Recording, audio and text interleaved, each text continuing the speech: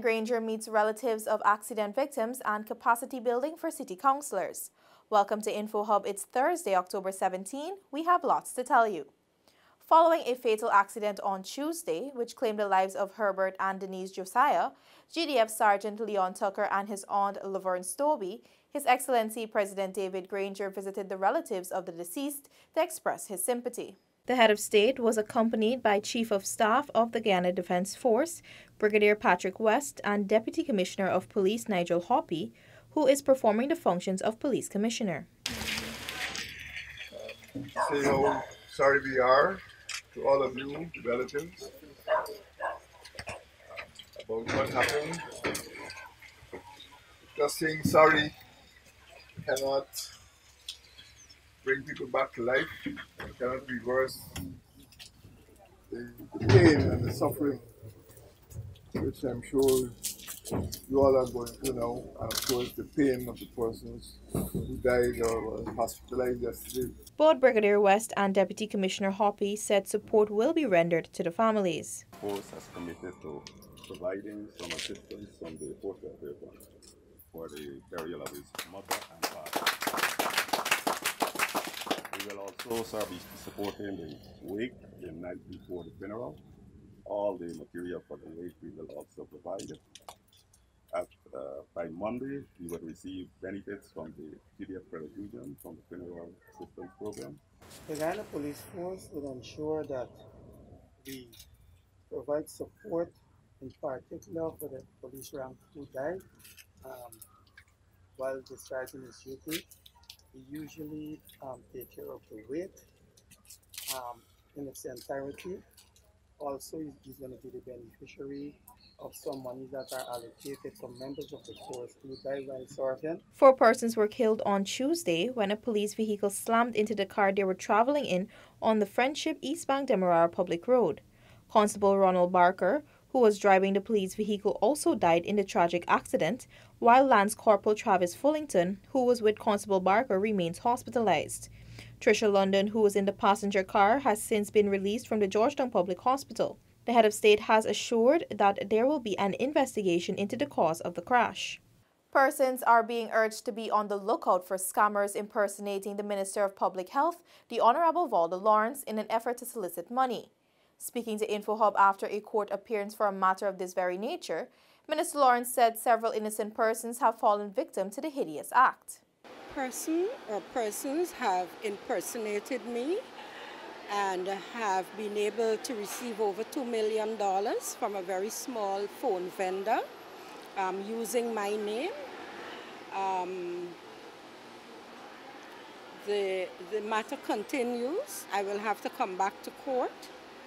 Here it is that a small vendor will have to pay that $2 million to the company that, company that he took credit from. There are other persons who have released monies to persons believing that it was me. I trust that persons out there would recognize that this is all a scam using my name, using my position as Minister of Public Health to take their monies from them. Please, should anyone call you or text you or send you a Facebook message asking you to send money to myself or any other minister, please do not do so. Ministers do not handle finances. Minister Lawrence said she is optimistic that a decision in the ongoing matter will be made at the next court appearance. She also assured all such complaints will be reported to the Guyana Police Force and investigated thoroughly. Still to come, GRDB touts benefits of rice flour and over 90 complete BIT program in Essequibo. Details after the break.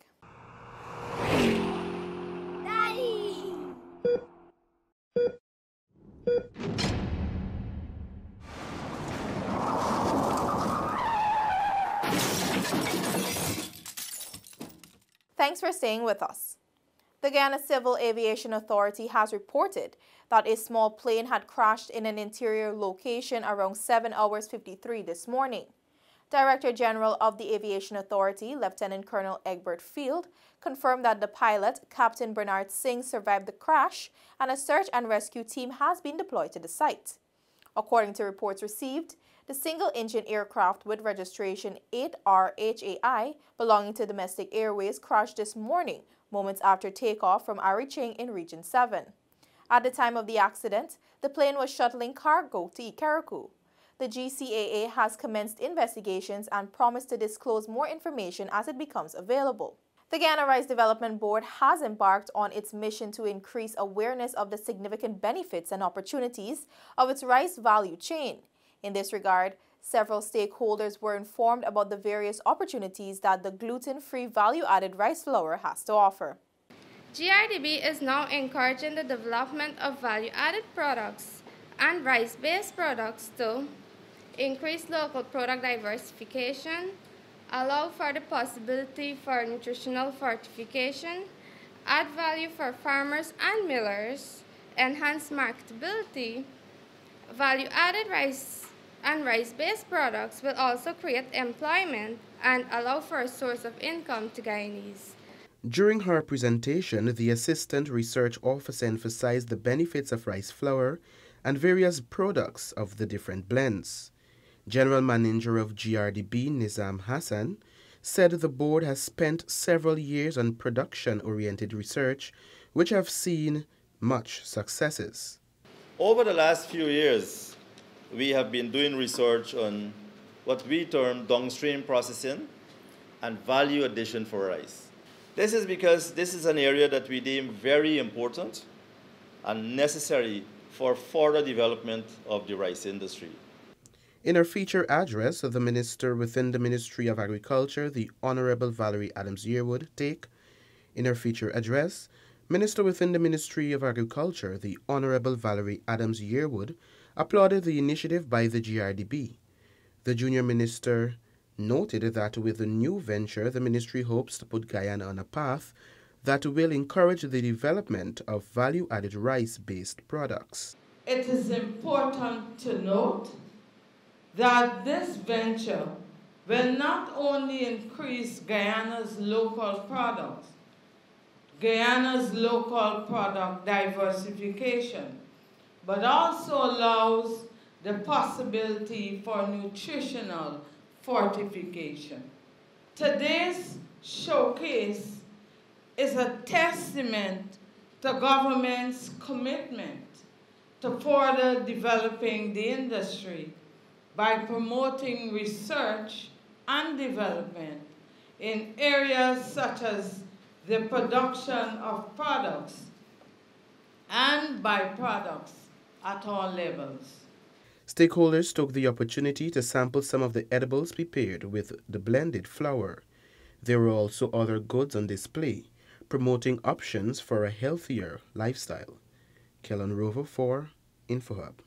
Councillors of the Mayor and City Council today participated in a booster training to build their capacity in local governance and accountability. Convened by the Ministry of Communities, the one-day meeting engaged councillors and administrators of the M&CC on their roles and responsibilities even as the country repositions itself for a major transformation. Permanent Secretary of the Ministry of Communities, Emil McGarrell, said the training falls within the ministry's mandate of building cohesive, empowered, and sustainable communities. We recognize that building the capacity of our local organs, and in particular that of the city, becomes critical if we're going to see the level of development which is described elsewhere by His Excellency in particular as having the good life. We believe that with knowledge and with the capacity built, Georgetown would become, would be able to be a livable, lively, lovely city for both the residents and visitors. Councillors were called on to come together for the good of the council and the country as a whole. Deputy Mayor Alfred Mentore made the passionate plea. As we move towards realizing this stated vision, we must commit to working tirelessly to bring significant development to all. The good life, as my as P.S. McGarrell spoke about, the good life, the better life promised by His Excellency. Hence, if we are going to give 80% today, we must be prepared to give 100% going forward. For InfoHub, Alexis Rodney. Next up, we meet two Essequibians, 45-year-old Yuli Alexander and 16-year-old Yogeshwari Lagan. Now, you might be asking what do these two persons have in common? We tell you all about them in this report. Yuli Alexander and Yogeshwari Lagan have the distinct honor of being among the most recent batch of the graduates to have completed training with the Board of Industrial Training in Essequibo. Alexander is a serving police officer and Lagan just recently completed her secondary education. Both decided to make good use of programs being offered by BIT and enrolled at the Essequibo Technical Institute for a six-month course in food preparation and electrical installation. Well, to be honest, I have a passion for food. I like to cook. I love to make cakes. Oh my, and you talk about it. I love to be in the kitchen. In the near future, I would form a group with young people and teach them what I have learned here?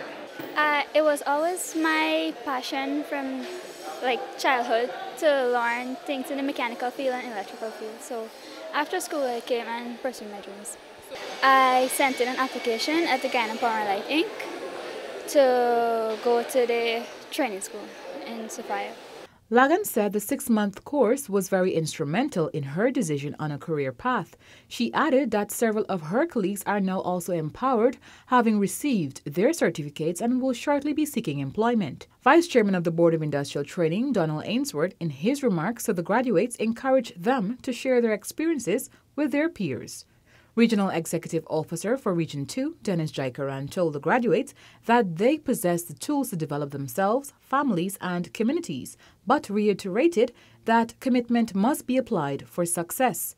We have to answer in our minds the question of what do we do after this graduation exercise.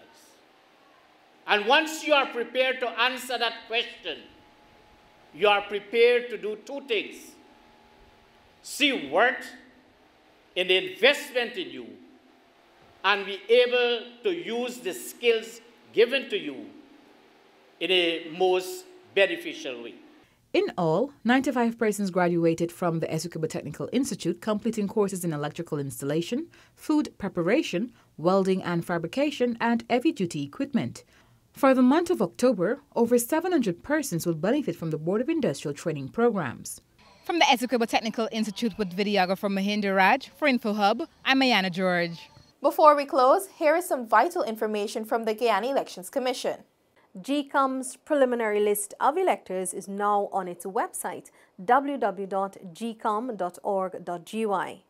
Citizens are reminded to check the voters list to ensure their names are on it GECOM's claims and objection exercise began on October 1st and will end on November 18, 2019. During this time, the following persons can check the registration office in their respective districts to verify their registration records for inclusion on the list of electors.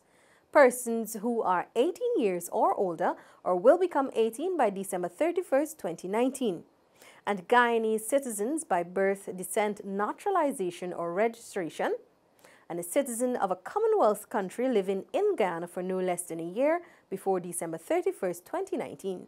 Also, persons whose names appear on the Central Registrar can make changes or corrections during this period. GECOM's claims and objection exercise is being conducted at all GCOM offices throughout the country. That's all for today. Connect with us on WhatsApp, Facebook, and YouTube. Much more news is on our website, dpi.gov.gy, and pop over to Instagram for the latest photo updates at DPI Guyana. Your bridge and weather reports are up next. Goodbye for now.